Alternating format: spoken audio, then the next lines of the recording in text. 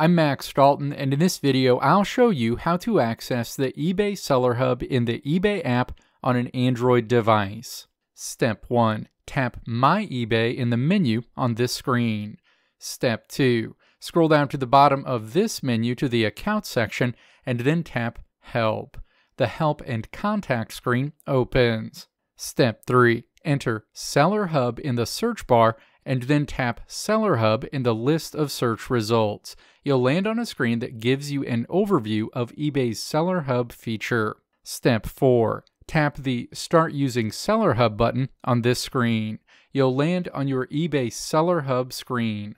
Let me know if this video helped you out in the comments below. If you liked what you saw here, click the video links on the right side of the screen to check out another video.